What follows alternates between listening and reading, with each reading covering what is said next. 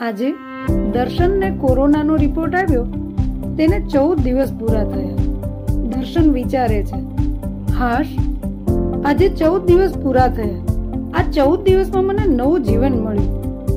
અને આ નવું જીવન એટલે શું? હવે મારું ગામ પણ કોરોના મુક્ત કરીશ. બસ એ જ મારું મિશન. દર્શન ઉકાળો બનાવવાની સામગ્રી લેવા જાય છે. લઈને પાછો આવતો હતો. ત્યાં સામે સરપંચ સાહેબ મળ્યા એ રામ રામ રામ રામ. એટલે દર્શન આજે તો માસ્ક પહેરીને શું વાત છે? અરે જવા દો ને સરપંચ સાહેબ. માસ્ક છે તો આપણે છીએ. અને આ શું? આજે આ થેલીમાં શું લીધું છે? જુઓ સરપંચ સાહેબ તમારી પાસે જ આવતો હતો. આજે મેં ઉકાળો બનાવવાની વસ્તુઓ લીધી છે. અને મેં નક્કી કર્યું છે કે આખા ગામને આજથી રોજ પાંચ દિવસ માટે ઉકાળા પહોંચાડીશ. પણ કોણ બનાવશે? કેવી રીતે? જુઓ સાહેબ આ મોબાઈલમાં જુઓ ઉકાળો બનાવવાની રીત આપી છે. મિત્રો આને ઓળખો છો ને? આ છે મરી એટલે કે તીખા જેને અંગ્રેજીમાં બ્લેક પેપર પણ કહે છે. આ છે અજમો. અજમો એટલે કે જેને અંગ્રેજીમાં કેરમ સીડ્સ કહે છે. આ છે તજ. તજ, જેને અંગ્રેજીમાં સિનેમન કહેવાય છે. આ છે લવિંગ, જેને અંગ્રેજીમાં ક્લોવ્સ કહે છે. આ છે ઇલાયચી અથવા તો લીલી ઇલાયચી જેને અંગ્રેજીમાં કાર્ડમમ કહે છે. આને તો આપ સૌ ઓળખો જ છો. દરેક ઘરના રસોડાના મસાલાના ડબ્બાનું એક જરૂરી અંગ, એટલે કે હળદર, જેને અંગ્રેજીમાં ટર્મરિક કહે છે. આ છે કાળું મીઠું, એટલે કે જેને સંચળ કહે છે. અંગ્રેજીમાં તેને બ્લેક સોલ્ટ પણ કહેવાય છે. અને આ છે મીઠું મીઠું ગોળ. ગોળને અંગ્રેજીમાં જેગરી કહે છે. મિત્રો, આ બધી વાત તો આપણા સૂકા મસાલાઓની થઈ. આપણે મળીએ કેટલાક આપણા તાજા મસાલાઓને. આ છે આદુ, જેને અંગ્રેજીમાં જિંજર કહે છે. આ છે લીલી ચા. જેને અંગ્રેજીમાં લેમન ગ્રાસ કહે છે. આને તો આપ સૌ ઓળખો જ છો.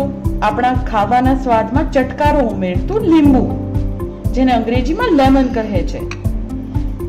અને આ પાંદડાથી કોઈ અજાણ હોય એવું તો ભાગ્યે જ બને.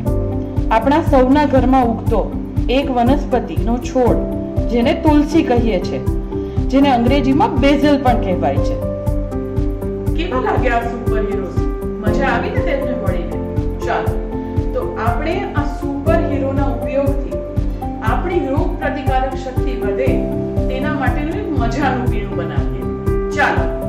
માટે આપણે એક ખાયણી દસ્તો લઈશું અને એના, એમાં આપણા સુપર હીરોને લઈએ. લગભગ અડધી ચમચી જેટલા મરી લઈશું.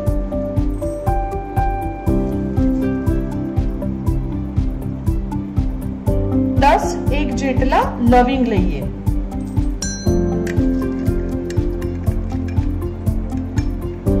લગભગ પાંચેક જેટલી એલચી લઈશું.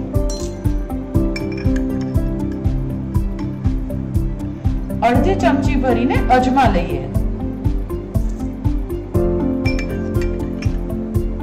ત્રણથી ચાર તજના નાના નાના ટુકડા લઈશું. હવે તેમાં આદુના નાના નાના ટુકડા કરીને ઉમેરીશું.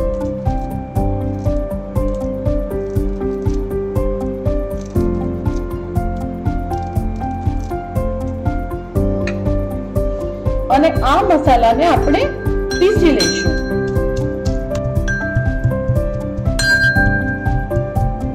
આ રીતે મસાલો સરખી રીતે પીસાઈ જાય, પછી આપણે ગેસ પર એક તપેલી ચડાવીશું. અને આ તપેલીમાં લગભગ બે ગ્લાસ જેટલું પાણી ઉમેરીશું.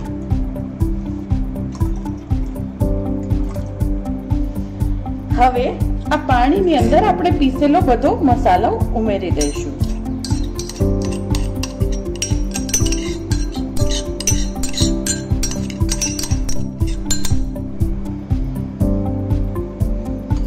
અને તેને સરખી રીતે ભેળવી દઈશું. હવે એમાં આપણે પાંચ ચમચી જેટલું સંચળ ઉમેરીશું. ત્યારબાદ ફરીથી તેને બરાબર રીતે ભેળવી દઈશું.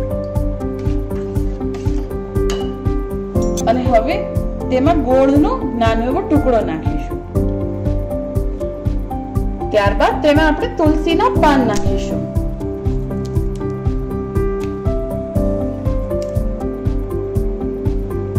અને ત્યારબાદ તેમાં લીલી ચા ઉમેરીશું.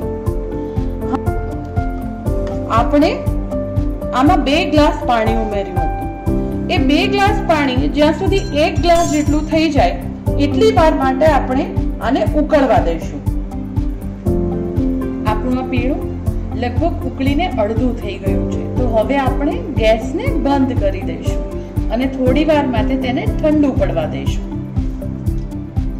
હવે એ ઠંડુ પડી જાય, ત્યારબાદ તેમાં અડધી ચમચી જેટલી હળદર મેળવીશું અને સરખી રીતે હલાવી દઈશું હવે તેમાં આપણે એક લીંબુનો રસ નાખીશું.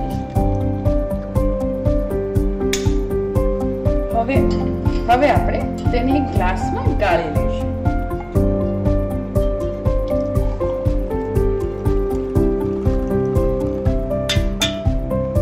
તો તૈયાર છે આપણું મજેદાર પીણું. અરે વાહ તું તો માસ્ટર છે. અરે સરપંચ સાહેબ આયુષ મંત્રાલય પણ ઉકાળો બનાવવાની સામગ્રી આપે છે હો. પણ આ તારો ઉકાળો પીશે કોણ? ત્રણ જણા. હું તમે ને ગામ. દર્શન ધીરે ધીરે ઘરે જાય છે. ઉકાળો બનાવીને આપવા માટે નીકળે છે ત્યાં સૌથી પહેલા રવજીભાઈ મળે છે. એ રવજી કાકા હાલો આ ઉકાળો. ઉકાળો પીવો ને નિરોગી રહો જા રે આ તારા ઉકાળા પીને મારે લોહી ઉકાળા નથી કરવા? અરે કાકા તમે તો વડીલ છો અને સમજુ પણ છો.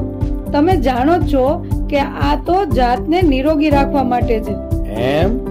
તું ખાતરી આપે છે કે ઉકાળા પીવાથી કઈ નહીં થાય?